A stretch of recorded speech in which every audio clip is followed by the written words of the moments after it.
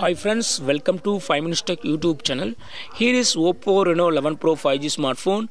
In this video, you will learn what is the meaning of pop-up on key press and how to use it. First of all, go to the typing interface and you can understand that what is pop-up on key press.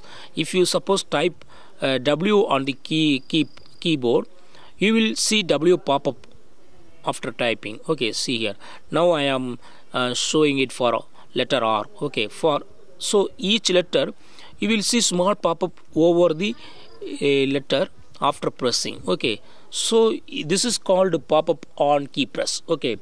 If you would like to uh, turn off uh, this pop-up on key press as you can do it what you have to do is go to the settings of your phone here then go to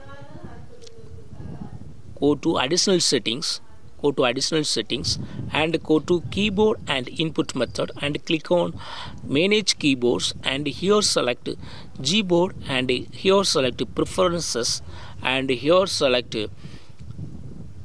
pop up on key press. It is already turned on so that you will get pop up on each key press. Okay. If you turn off this button you will not get any pop up after pressing any key on the keyboard here. See here only uh, it is pressed but pop-up is not showing. Okay.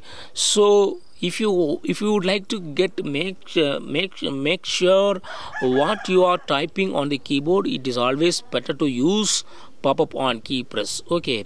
So turn on this button. So you will get pop-up on key press. So this will help you to uh, type what you are doing what you are typing on the keyboard. Okay. So in this way you can easily understand that what is the meaning of uh, pop-up on key press and how to use it. Okay. That's all friends. Thanks for watching. Bye